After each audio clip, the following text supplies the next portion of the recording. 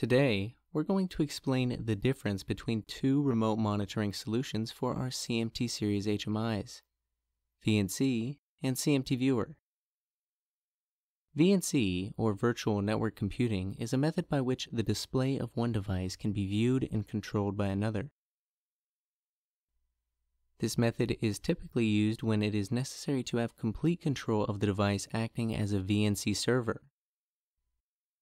In contrast, CMT Viewer is an application developed by Weintek that will run a separate instance of the HMI's project on the remote device.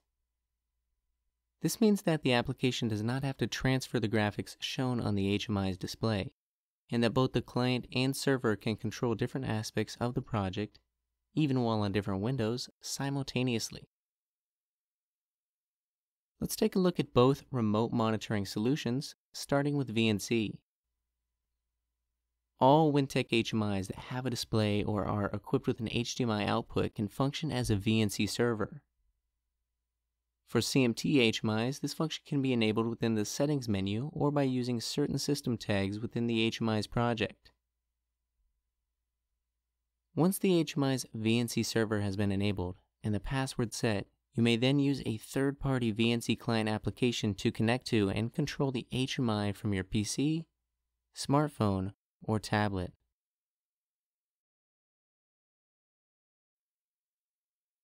While using a VNC client to control the HMI, the actions that you perform will be visible to the operator.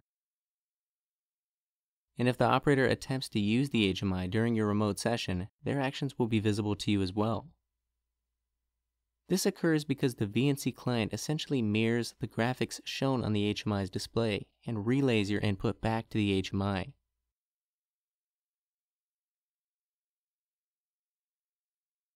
Although VNC does not allow the operator and remote client to work independent of each other, the HMI's VNC settings can be configured to allow multiple VNC clients.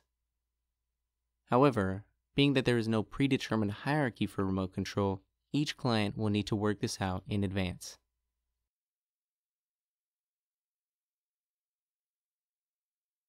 Now, let's review some of the features of CMT Viewer.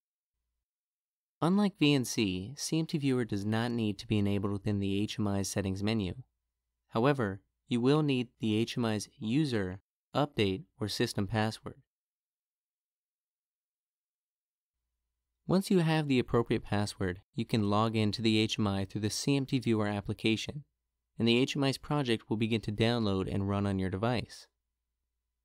While running your own instance of the HMI's project, you can navigate through and modify the state or value of the registers or tags assigned to objects independent of the operator. The data related to the modifications that you make will be transferred to the HMI.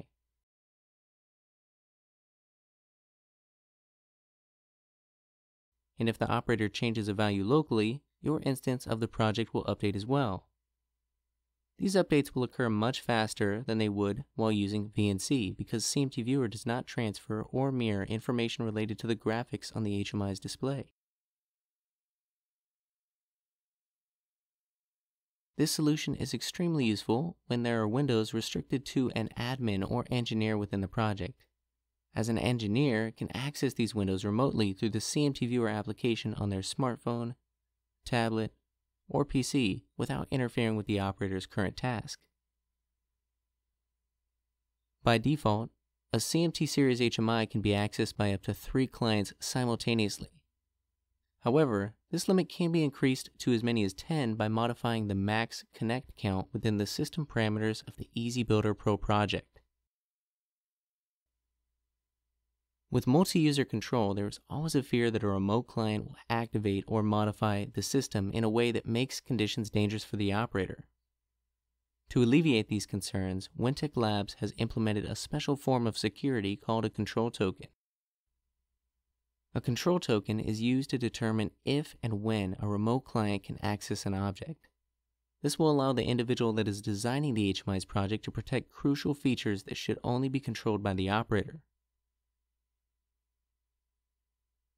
So far, we have discussed what makes CMT Viewer different from VNC. However, there is one big similarity. Both CMT Viewer and VNC can be used on a local network or through Easy Access 2.0. Easy Access 2.0 is Weintek's VPN solution that will allow your phone, tablet, or PC to access the HMI through an encrypted connection over the internet.